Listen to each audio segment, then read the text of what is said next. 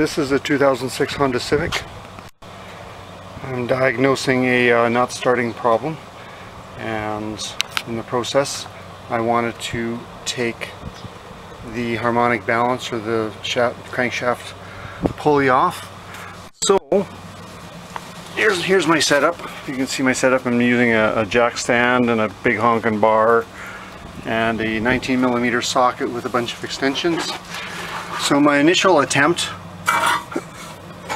my initial attempt to uh, remove the pulley was not successful. I was using the tool that they recommend you use to hold the crankshaft and it kind of fits into some notches on the pulley but you can kind of see the rust marks now where that nut was so tight it actually ended up having that tool break off the mounts where that socket sits in. So once that happened then I kind of realized I was in trouble. So my next way I kind of ended up MacGyvering an idea and you can kind of see how I used a quarter inch cable. I looped it through the pulley and I looped it through part of the suspension and I used the clamps to hold it in place. So the idea was it would prevent the pulley from turning because I'm turning counterclockwise to remove it. So it'll try pushing the right side of the pulley up and I would try to use that to break it free.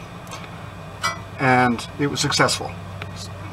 If I, uh, I can kind of, it was successful for me and my little setup worked really well and now I now the nut's actually loose and I can turn the nut so I'll be able to pull the socket off.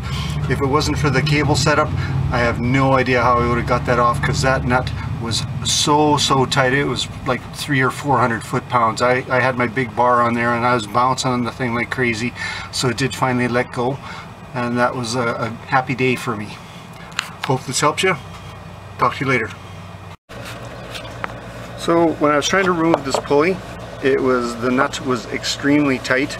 I was using the Honda, Honda tool to help hold the damper in place while you try, try to take the nut out of the center um, that nut was so tight, what it ended up doing is it ended up breaking the casting that went and held this socket in place. That was a really unfortunate thing. That nut was so, so tight I could not get it. It ended up breaking the housing.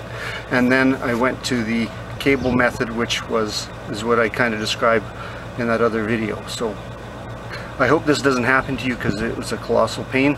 But I did manage to get the damper off and you can see the damage that happened. Have a good day.